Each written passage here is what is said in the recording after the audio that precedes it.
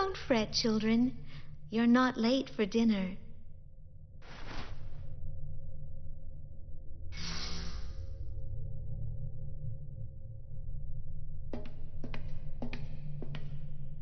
Let's follow.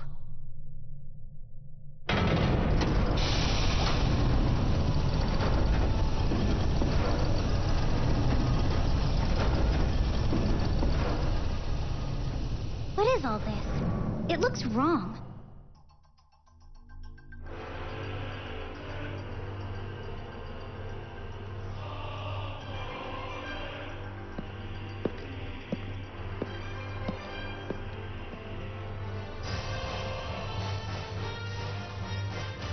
You've done well to come so far.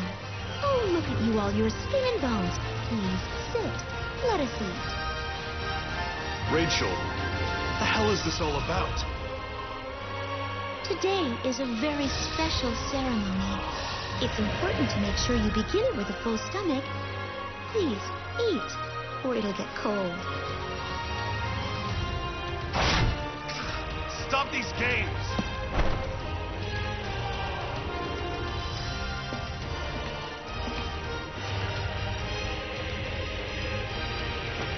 All of this is nothing more than holograms.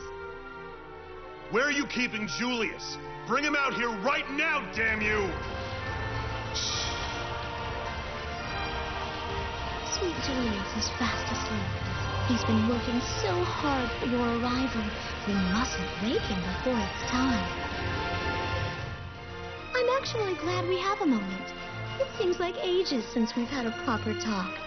I want to hear everything. Sit, sit. Let us talk until he awakens. Oh, first, I'd love to hear about your time in the Far East. Have you gone on many missions? All right, Rachel, just tell us what the hell you want. What kind of sick game are you playing? oh, Gilbert, that's such a silly question. There's no game. You know all people are driven by their will. I taught you that. I've done until this moment has been for the sake of mankind. To help the weak, ignorant, foolish mortals to survive the coming trial. Dr. Rachel, if I may ask a question of you. There's the Ciel I know and love. So clever. I've such fond memories of your childhood. Go ahead, my dear. Dr. Leah told us everything. About your father, the children at Magnolia Compass, the plague patients, the fall. She blames herself. But none of that explains why. Is all of this just for Julius? What are you even trying to achieve? Even before you began, you knew you'd hurt innocent people. How could you do something so wicked? You are as brilliant and insightful as always, Ciel. I have a story that I wish to tell you all. Perhaps that will answer your questions. The story of a girl who became an Aragami.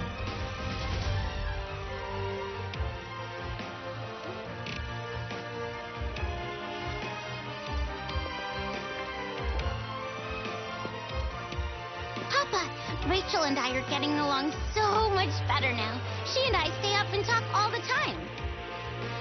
I'm glad to hear it, Leah. Your mother is certainly looking down and smiling upon us from heaven. Mm-hmm. I think so too. And Rachel's really, really nice now. We never fight at all anymore. But sometimes when we talk, she'll just stare off into nothing, Papa. She'll mumble something really quiet to herself and smile.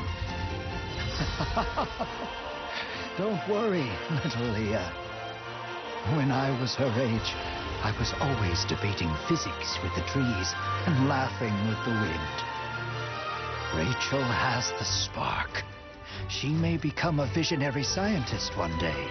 It's crucial to learn how to converse with nature. Really? Oh, okay. Then I'm going to be a scientist too so I can help her. I I can be one, right? Of course, my darling.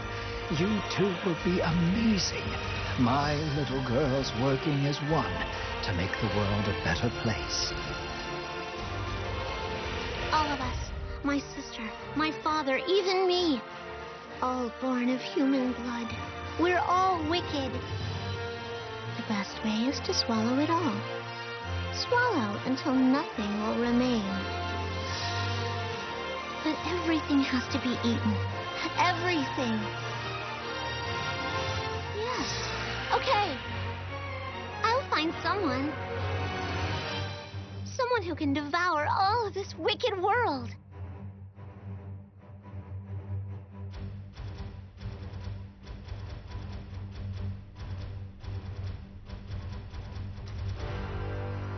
Restless god was within me, always whispering in the dark, telling me how it could be done. I could end the chaos, it told me. I alone could bring unto the world a devouring apocalypse. Then I found my sweet Julius. He was extraordinary. His body could take any bias factor. He was chosen. Perfect. My hero will awaken soon as something far more than himself. All that's left are the final preparations for his great feast. Welcome. Welcome, everyone. Please follow me down.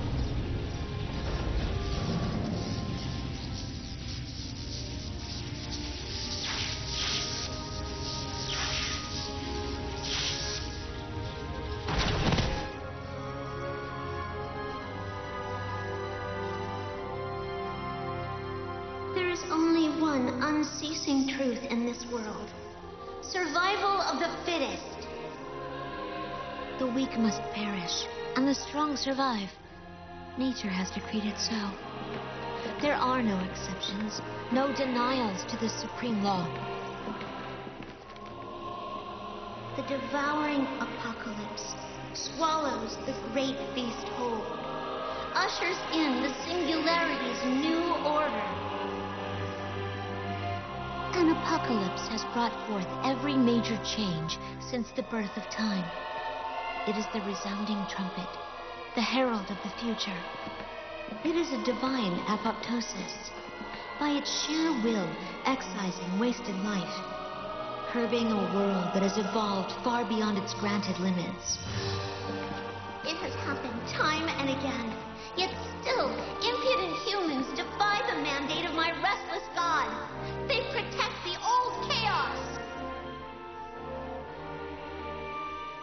They tainted its last attempt at singularity.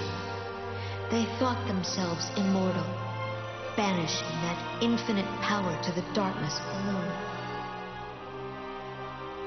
But they could never hold back my sweet Julius.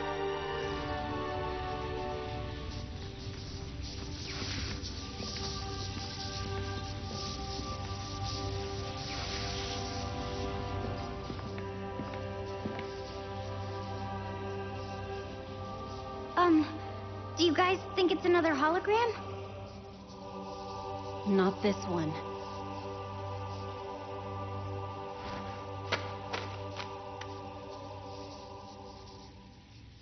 I don't need that doll anymore. There, see?